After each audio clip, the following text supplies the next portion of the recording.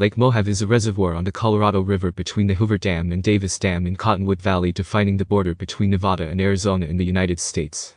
This 67-mile stretch of the Colorado River flows past Boulder City, Nelson, Searchlight, Cottonwood Cove, and Laughlin to the west in Nevada, Willow Beach, and Bullhead City to the east in Arizona.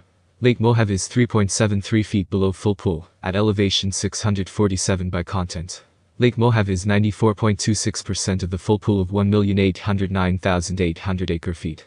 The total inflows of the water, as of the year 2022 is 7,225,585 acre-feet.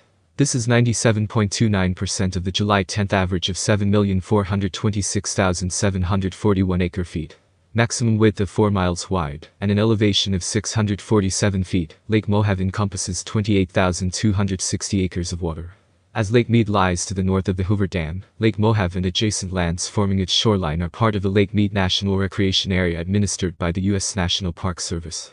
Lake Mead National Recreation Area, which encompasses Lake Mead, Lake Mohave, and portions of the Colorado River in the lower Grand Canyon to the north, and below Davis Dam to the south, offers good diving opportunities for both novice and advanced divers.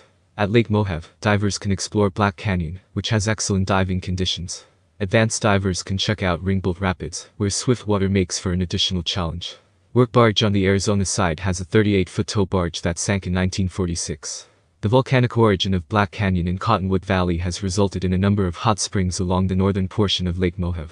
Goldstrike Hot Springs is located very close to the shore which is accessible from a trailhead 1.2 miles south of the Hoover Dam.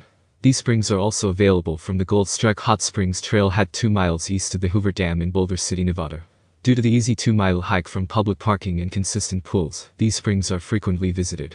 Two-mile hot springs and Arizona hot springs are within a few miles of this same area and offer a more private experience.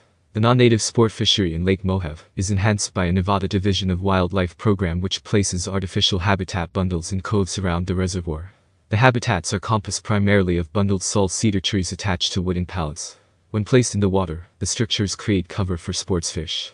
Additionally, Lake Mohave contains one of the largest and most genetically diverse populations of razorback suckers remaining in the wild.